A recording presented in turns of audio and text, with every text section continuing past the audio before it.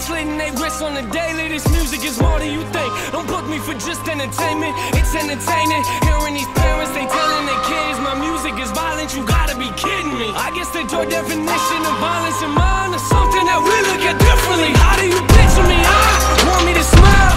You want me to laugh. You want me to walk in the stage with a. Man, put on a mask for real.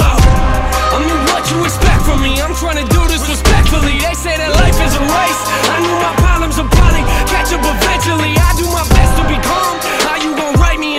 slaughter my family? That's just a glimpse of the stuff that gets said to me. These are the parts of my life they don't never see. Woo! I am aware it's aggressive. I am not here for acceptance. I don't know what you expected, but